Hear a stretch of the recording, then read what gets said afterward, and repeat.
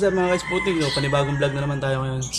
Pasensya na kasi hindi tayo nakapag-upload ng mga nakailang ilang buwan din, eh, hindi tayo nakapag-upload. Siguro may isang buwan o dalawa. Kasi nasira yung computer natin na ginagamit eh, yung pang edit. So, yun, nakatanggap ngayon tayo ng gawa, ah, NMAX version 1. So, hindi ko na ipapakita yung panlapatan kasi yung video ko na nagawa ng lalapatan nasa computer na. So, nasira. Kailangan ipa-reformat. So, liyahin na lang natin mga Sputik to. Tara, samahan nyo mga Sputik. Let's go!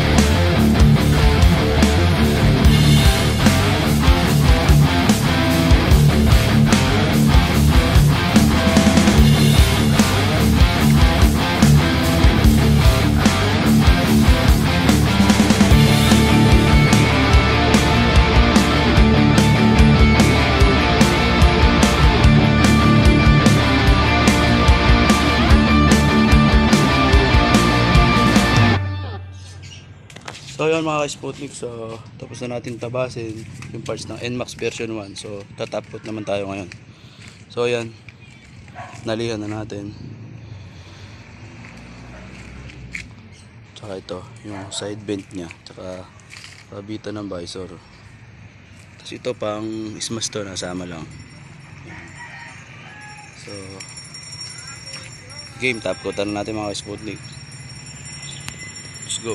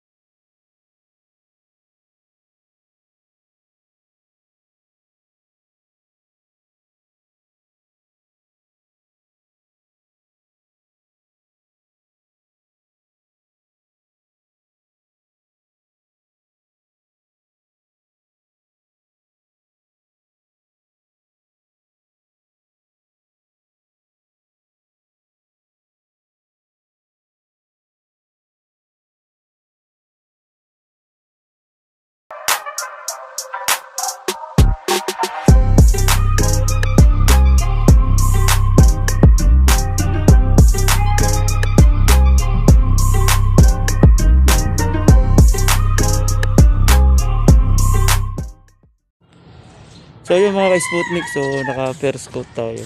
Yan, first coat. First coat yan mga ka-Sputnik. So, mga dalawang coat pa para mapinis na natin. So, pakita ko sa inyo mamaya. Let's go.